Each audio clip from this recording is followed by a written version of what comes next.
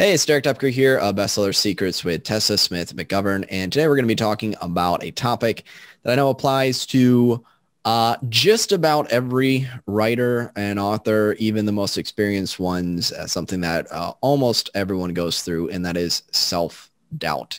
It's the the voice in your head. It could be saying, uh, "What if this isn't any good?" It could be the imposter syndrome of, you know, who am I to write this? Is is anyone gonna like it?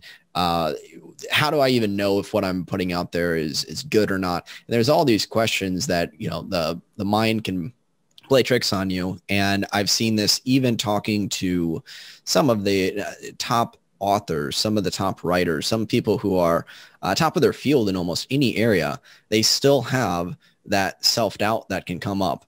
And even if you gain a certain level of confidence in your ability, then you go and you try to take on a new challenge or a new, uh, you know, whatever uh, milestone that you're trying to hit. And whenever you're going to that next level, the self-doubt can kick in. And so what I found is that uh, you know, you can talk all the marketing strategies in the world. You can talk all the little uh, practical tips and tricks. But if there's that self-doubt that is, you know, secretly sabotaging someone, then that can lurk beneath the surface and actually hinder your effectiveness in anything else that you're doing. So really important to gain this self-mastery, understand how you work with self-doubt. And that's what Tessa is uh, going to help you with here today. She is uh, an author, award-winning English writer and coach. Uh, so she uh, works not only with her own writing, but also works with other authors and writers in terms of how to how to overcome, uh, not only produce a great book, but how to overcome this self-doubt. So welcome, Tessa. Hi, thanks, Derek. Nice to be here. Yeah, glad to glad to have you on. And so you mentioned uh, to me, you know, a number of things that you're you're wealth of knowledge on a lot of uh, areas, but especially you mentioned this topic of self doubt, and I knew that this would be a, a big issue. So imagine someone comes to you, and I go, you know, Tessa, I, am thinking about, you know, I'm working on a book. I just, I don't know if it's any good. I kind of, I'm doubting myself. I kind of feel like I'm, uh, I see what these other writers doing. They're so much better than I am. I feel like, what do you say to someone whenever they come to you and they're in that situation? So the, the first thing I would say if someone said that is to chunk it down and stop thinking about the whole global situation. You know, I want to have a bestseller and I want it to be like something Neil Gaiman would write or whatever that ambition is in our head because the building blocks of writing are small wins. They're the daily going to the page, which we all know that. Um, but the thing is that self-doubt stops us from getting to the page each day. And um, the first thing to know about self-doubt is that it is, it actually can be useful um, because it's an indication, like you said, when you're doing something new, you're always going to have that sense of self-doubt, but you can always have it also, you can have it also when um, you're just uncertain. You know, you're writing a first draft and you don't know if your conflict is going to be compelling enough or you don't know if the character is interesting enough. So um, the thing to remember is that self-doubt is not an indication of quality of your prose. I mean, you know, more advanced writers know that because they go back to their chapter, their story that they wrote when they were feeling horrible about it and they see, yeah, it's actually no better and no worse than my other, other first drafts. But that fear of that feeling can be enough to stop us getting to the page in the first place. So um, you know, like I was saying to you, Derek, there there actually is a there isn't a magic bullet for most things in this world, but there actually is one for getting words on the page, and that is the writing sprint. Because when you come together in a with a group of people who are all writing, somehow it's easier. You know, that group energy um, and the fact that everybody is doing trying to do the same thing. You know, we're trying to write something true we're trying to write something deeply felt and we want to deliver it to readers. Um, and in the group, um, with the, the sprint that I run, I give um, guidance because one of the downsides of writing a sprint is, um, and you'll have had this experience if you've done sprints, sometimes you can just write something random you know, you can write something that's not like anything else that you write, which is fine sometimes. You know, sometimes you want to branch out, you want to do something differently. But sometimes if you're working on a either a collection of stories or a series of chapters for a larger work, you want to sort of keep it under the same umbrella and have it be useful. So, um, you know, it's good if your sprint can include that kind of guidance. Um, so it's not an indication of quality. It's an indication of your emotional state or what you're trying to do. So sprints are one way around it. I, I want to emphasize something that you said, a couple things that you said here that's so important. And I, I want the, the listener to just really get the impact of this. What you're saying is that, uh, you know, self-doubt is not an indicator of quality. So I've heard a saying like, don't believe everything you think. so yeah. don't believe everything yeah. you think or feel in the sense that someone goes, eh, you know, doubt, um, doubt can be useful is, is also what I'm hearing you say. And that's what I've learned too, is that it's not like, um, doubt can, can be the kind of thing and it's setting up why the sprints can work is it can say, I might not be the best judge of my own work. In fact, I would say that's often uh, the case where someone isn't going to be the best judge. And it's just saying, I don't know, like if I'm writing something, I don't know if this is clear or not. I have my doubts, but that's why I'd want to get feedback, why I'd want to run it by readers or an editor or other people uh, like like that. So it's so important to get that self-doubt. It's not a sign that there's something wrong with you. It's not a sign that you're just like, oh, you don't have what it takes. It just might mean that you, uh, it's just a signal going on in your head and a lot of times I found that uh, you use the word uncertain. If you've never written something um, before in a certain genre or a kind of new territory, you're not really going to know how to judge it. That's why it's no. so important to get outside. Yep. Right. And, and well, and any time you're writing something, you think you might set out to write something, but you may end up writing something a little different. So, you know, I always think of it as being in the fingers. It's like the fingers know better than the mind does because they just pop out what they want to. But actually what that is, is it's the stories coming from your subconscious mind. You know, your subconscious knows everything you could possibly need to know about writing stories. It's the mind and all our judgments that we have to sort of circumvent. Um, I think that once you get used to the idea that self-doubt can be helpful, it's not something you want to get rid of altogether because it does keep you safe, but it's basically your reptilian brain saying, oh, this is something new. I don't know if it's okay, so hold on. Hmm. That's what it yep. is. Yep and so that's it's such a, a, key point to get. So if you if you're experiencing if you're listening to this and you have some of that self uh, doubt come up, it's normal. Uh, it's not uh, saying that it's it actually means anything about your book. It's just saying that uh, or about your writing. It's a signal, and then that segues into what you're talking about with the sprints, which is there's a multitude of benefits. But I want to make sure this is also clear. Another reason why I wanted to jump in was, can you define what a sprint is? Uh, and then go into some some more of the benefits of it.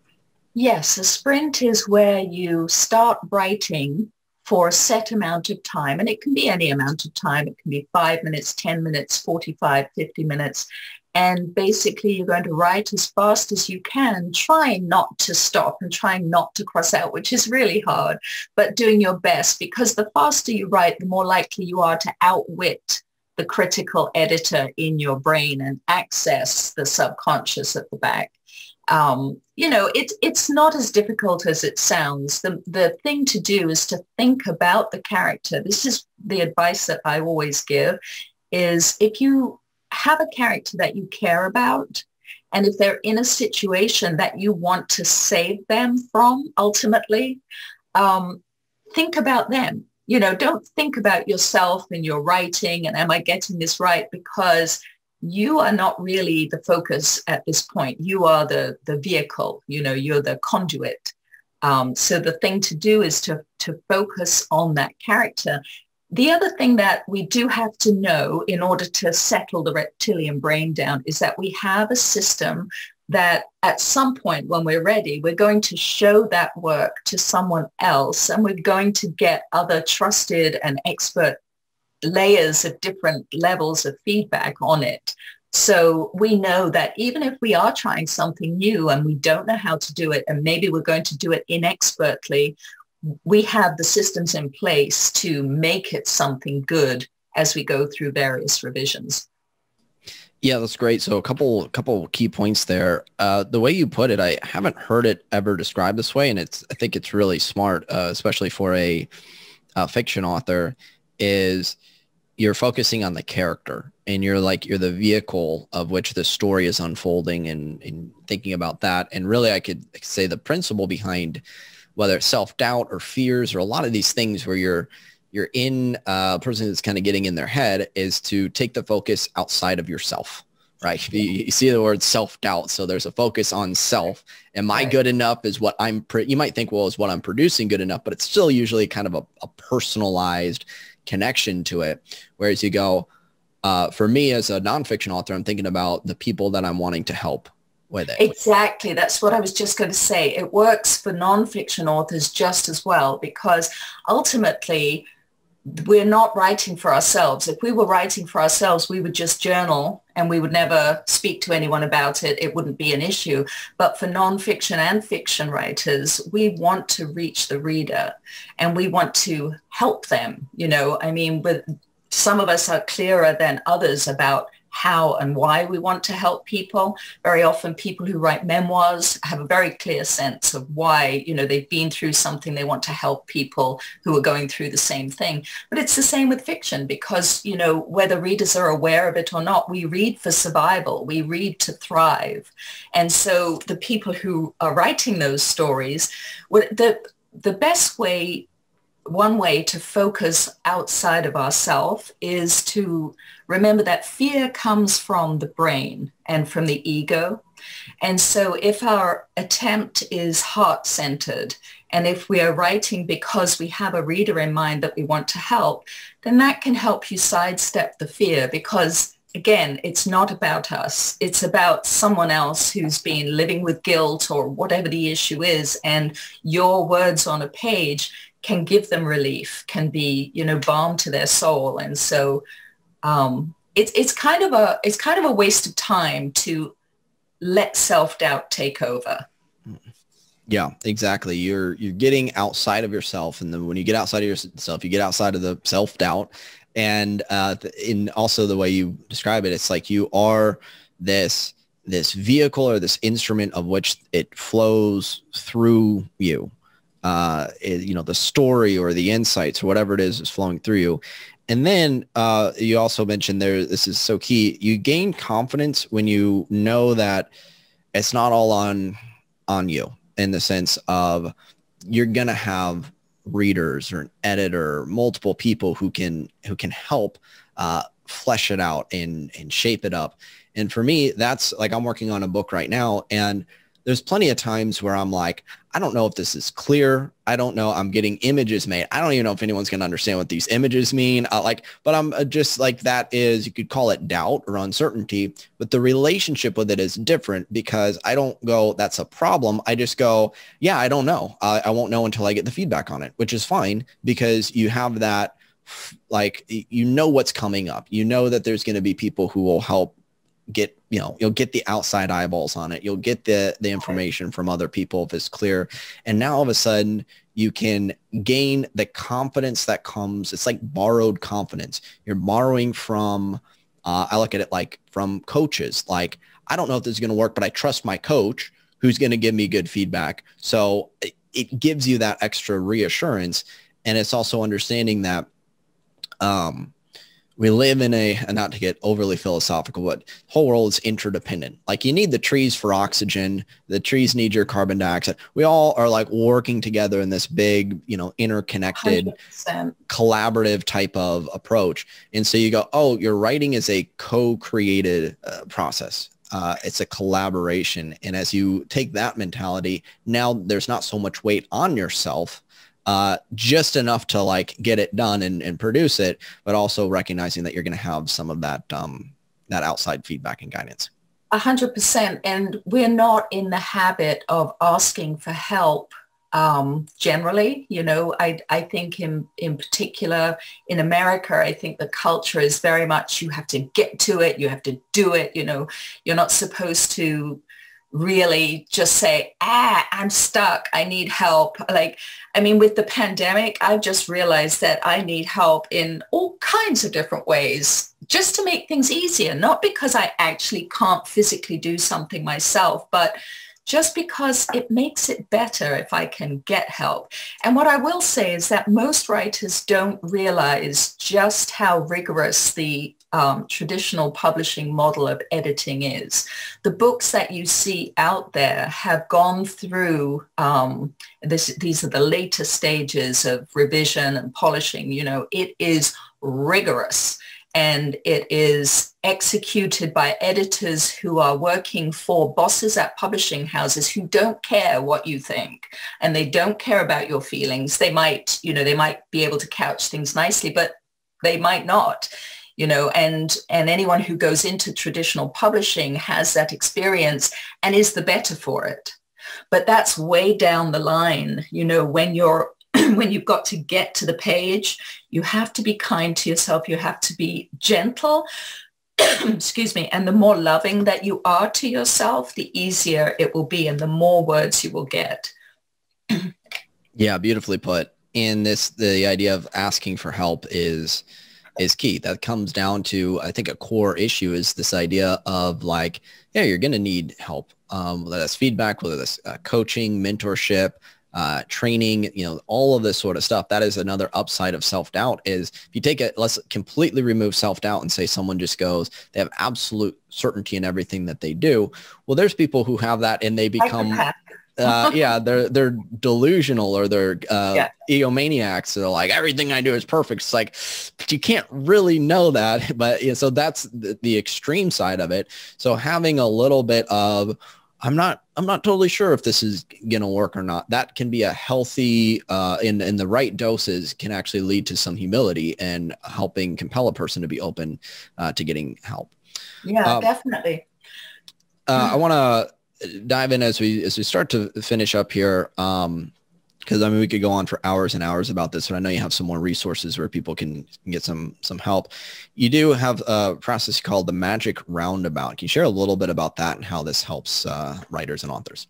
Yes, the the Magic Roundabout. I called it that because um, it says playtime to me, and I and in the early stages of our writing, I think excuse me, if we're ready to play, then it makes life so much easier. Um, so the idea is that it's one of those roundabouts that just turns very gently in the ch- a children's playground. You can hop on and you can hop off with ease.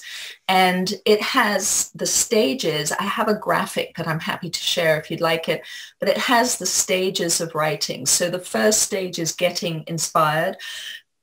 Excuse me. The second stage is writing your first draft. The third stage is revision. And there are some tweaks. You know, these are not brand new stages, but the ways that we approach these stages, we can do it in a way that it's hard for us and it shuts down our flow, or we can do it in a way that makes it more fun and makes it possible to relax and also possible to not keep thinking, I'm not writing enough this isn't good enough. Um, you know, and, and so many of the writers I work with, I um, teach at the Writing Institute at Sarah Lawrence and also online um, for the Westport Library. And so many of the writers that I've known over the years just write stories and then they leave them. You know, they don't follow through with the editing, they don't submit them, or they might submit them and they get rejected a few times and then and then they leave them. And, you know, this is, it, to my mind, this is a type of self uh, sabotage. It's a, it's a kind of um, shooting ourselves in the foot because the creative process is part of our essential self. You know, it's everybody has it, whether it's writing or songwriting, art, whatever it is. Um, and we don't have to think of it as this fancy thing. It's just part of life. You know, we are creative beings.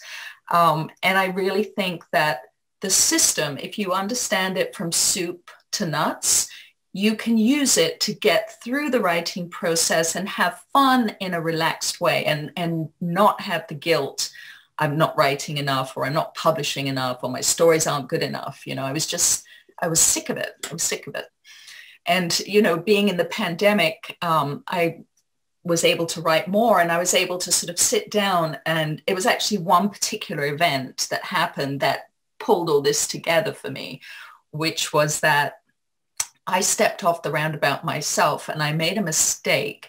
So I had switched genres to writing fantasy and I like to think maybe this is my excuse for why, but I actually sent a writer who I adore. I'm an absolute fangirl of this writer whose name is Nina Kiriki Hoffman, who is a sweetheart and a wonderful writer. And because of the pandemic, I was in a able to be in a sprint with her. I sort of tracked her down, you know, thinking maybe she's teaching. Um, and so I was in this writing session with her. And after a few months, I asked her if, if I could um, hire her to edit my piece. And she said yes. And I sent it to her. And I sent it to her without rereading it, without, um, you know, I just, I can't believe that I did this. But I sent it to her. And when we sat down together, she said to me, I hope you're ready for this. And she completely tore this story apart. And I think there was one paragraph at the very end that did not have like writing all over it. And, you know, she was an absolute kind, kind person and said to me, you know, I don't really think it's worth rewriting. I would just start again if I were you. And I was mortified that I had done this. And I, you know, I've been writing and publishing for a long time, decades. Um, 96 was my first published story. And I thought, how on earth did I do that? And and so this concept of the magic roundabout came into my mind where I just, I got off the roundabout with that story too soon. You know, I didn't get the feedback. I didn't get the expert um, help on it that I should have done before I sent it to her. Um, I didn't want to send her something that was, you know, first draft. Um, I was I was hoping, of course, that she would read it and go, "Oh, this is wonderful."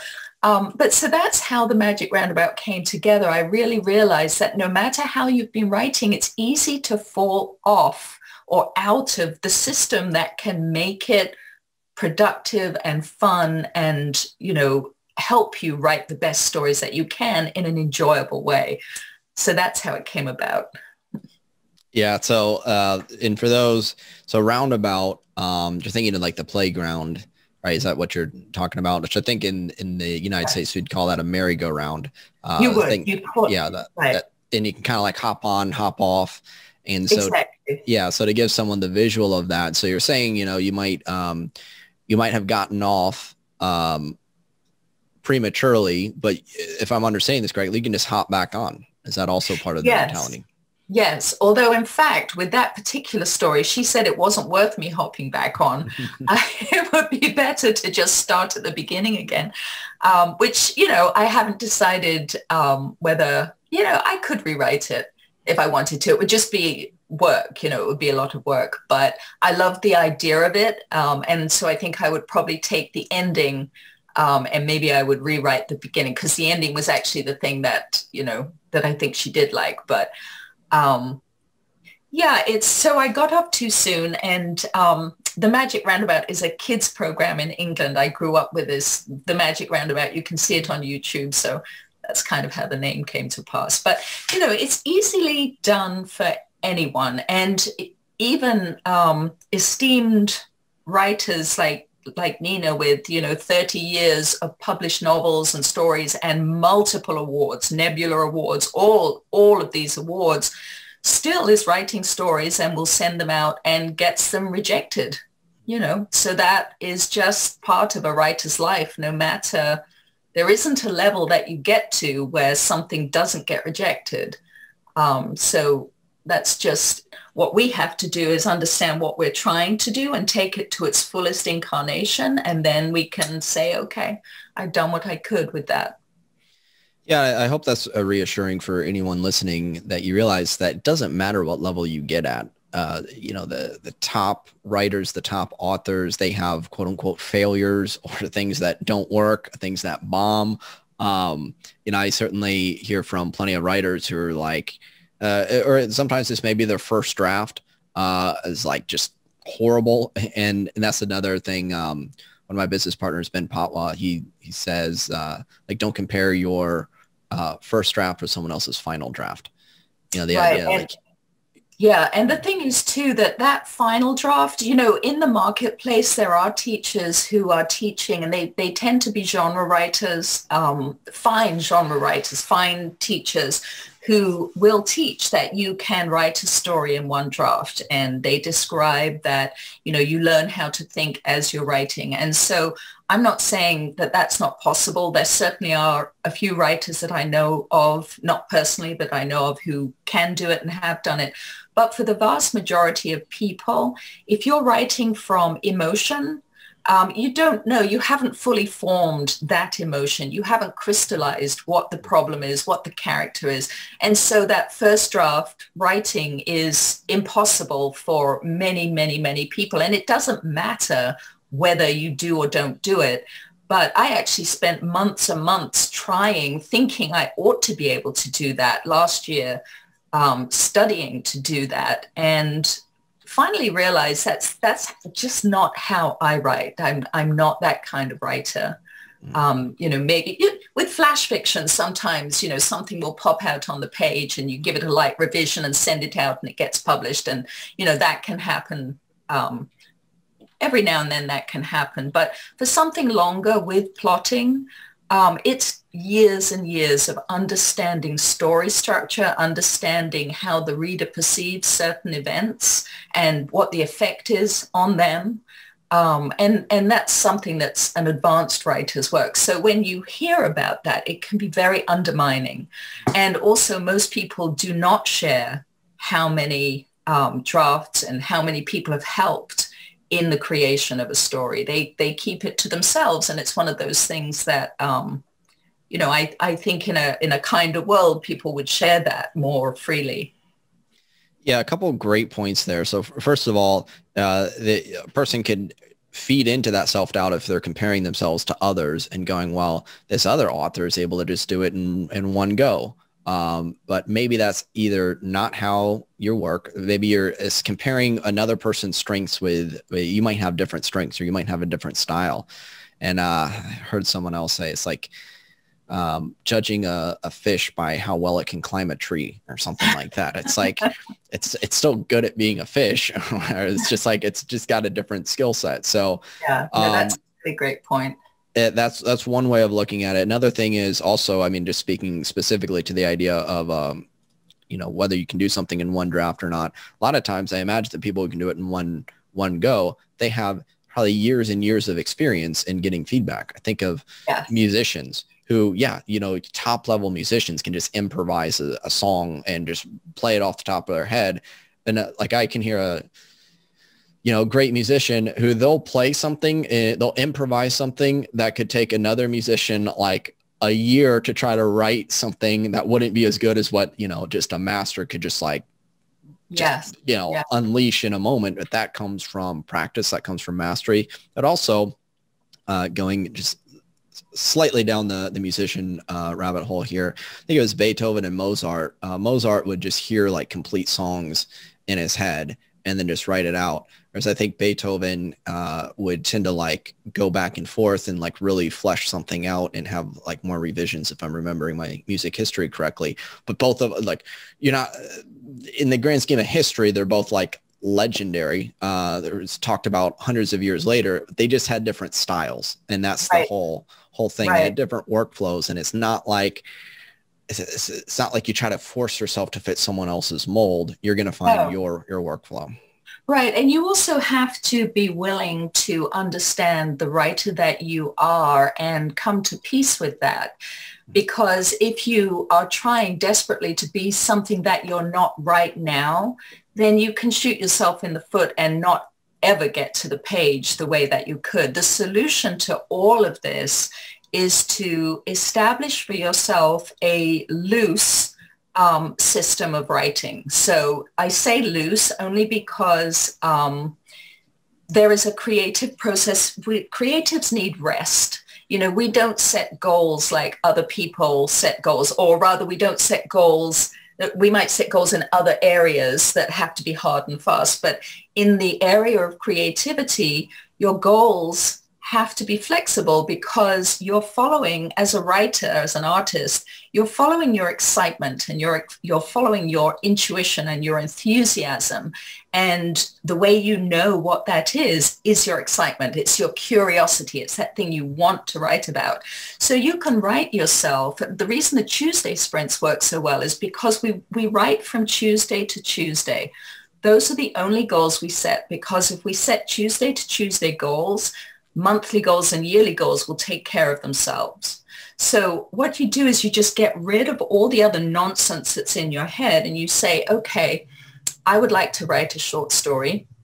Um, how much time do I have available? When can I do this? And so maybe you're someone who can wake up in the morning and you can do three or four mornings a week, half an hour maybe. Even five minutes is good. That's a tick in my book. In in my book, that's a tick in a box because the key is keeping the door open to your to your story, to your creativity. Um, so you want a system. You want to know that you're showing up for yourself. And if you are showing up for yourself, everything else is going to fall into place. Great. So um, as, we, as we start to wrap it up, I, there's one other point I wanted to uh, touch upon that you brought up where it's like your manuscript, you know, uh, got torn to shreds, so to speak, uh, to the feedback. And yet you can still hop back on, even if it's not with that exact story or whatever. I think about my first book, Barely Sold, but I was able to take, repurpose that and write another book later as my writing improved. And I had the ingredients, or at least I needed to go through that process to get my ideas out there and then reshape it later. So yeah. it's like the the roundabout or the the merry-go-round it's like it, it's always going it's your it's like you have the whole rest of your life as a creative and as a writer to hop back on and it might take the shape of a new manuscript or whatever but it's like you still had to go through that stepping stone experience and using 100%. all of that feedback 100%. And that's one of the tips that I give in going from getting inspired to first draft because when you get inspired, you pick up a story um, that makes you want to write, right? Let's say your mind is a blank. You want to write a story, but you don't know what you're going to write about. So you pluck a book off your shelf. You know, it's maybe a favorite. Um, for me, William Trevor and Alan Bennett are, if I read them, I cannot help but want to write. Um, so if you don't have that, it's really helpful to identify one or two books that make you feel like that. So you pluck that off the shelf and, and now you're inspired to write, but you're full of ambition. Like you're full of ambition to create something that looks like, for me, it's William Trevor or Alan Bennett. You know, and what I have to realize as I move from getting inspired to the first draft is I have to dial down my ambition because if I don't, it's so painful. You know, it's like, I, I want to write this fabulous thing, but in the first stage, I, I can't necessarily do that. In the first stage, what I can do is I can think of the character and I can see the situation and I can hear the dialogue maybe, you know, depending what comes first and I can begin to get what's happening to that person down on the page. But I can't do what William Trevor and Alan Bennett have done in those published books that I'm plucking off the shelf. I can't get from here to there like that. You know, I have to go through stages. And so dialing down your ambition in the early drafts is really important. Yeah, I, I that's so, such a good point. And talk about it like lowering the bar. And we hear so much about high achiever, raise the bar, strive for greatness. And it's like, yes. And uh, going into the fitness world, it's like you don't just uh, like, I guess you could actually think of an actual pole vaulter. Like they might warm up first. You know, they, they kind of start with something easier. You might uh, do a jog before you do a, an all-out sprint or you like warm up the muscles if you're lifting weight before you like put the heaviest weight on or whatever like you got to ease into it um, there's a gradual process and it's the same thing with writing if i go okay derek sit down and write a masterpiece like it's so much pressure uh, that you'd put on yourself yeah. and uh, that's where, what you're doing if yeah. you if you get inspired by something and and that's in your mind as you're writing then that on its own can be enough to stop you dead. Yeah. So you allow yourself to build up into it and, and evolve. So yeah, this has been that shift. this has been fantastic. I want to make sure people can find out more information about you. You run these sprints. Uh, if you want to share anything about that, uh, I uh, do. how can people find out more? Um, well, my website is tessasmithmcgovern.com and um, there's a page there where a, a, tab at the top that says free sprint and that's where the updated link is always there. Um, and we start with five minutes of chat um, about obstacles and successes of the week. Um, and then there's usually some sort of mini lesson for anyone who wants it and people can just mute me and start writing if they if they know they're ready to go. Um, and then we usually write for about 50 minutes and then we discuss what we wrote um, and we talk about any we set our intentions for the week and talk about any obstacles we're anticipating and brainstorm ideas. Um, and then there's usually about half an hour Q&A afterwards, which is like an, an ask me anything on writing or publishing. So, um, and that's free because um, it's through the Westport Library. So, so that's the main thing. Oh, and I am I'm teaching a class at um, the Writing Institute at Sarah Lawrence um, in March on how to link your short stories and memoirs into a collection. Okay, great. So we'll have links uh, to that along with this. So that's uh, T-E-S-S-A, uh, Tessa, then Smith, S-M-I-T-H, and then McGovern, M-C-G-O-V-E-R-N uh, dot com. So that'll be there. Uh, and any uh, thank you so much for sharing all this, uh, all these great insights. Any final takeaways or uh, any last point that you want to make before we wrap this up? I do want to say that something I said to this morning on my sprint because it's Tuesday. Um, I've never in in 22 plus years of of writing of teaching writing, I've never had a student who didn't have any talent, and I think that you know, I'm not, people, everybody has something to learn, but there was never anyone who, who had nothing. And I think that you don't want to write if you don't have a talent for it.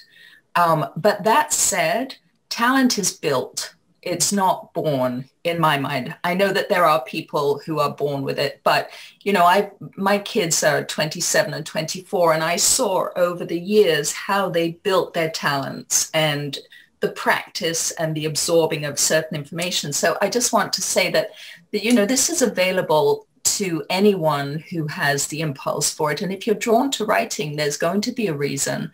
And, you know, it's a form of, you don't sabotage yourself, give, give it a go and give it a try. Um, and that's it. Yeah. All right. Thank you so much, Tessa. Sure. Thank you very much.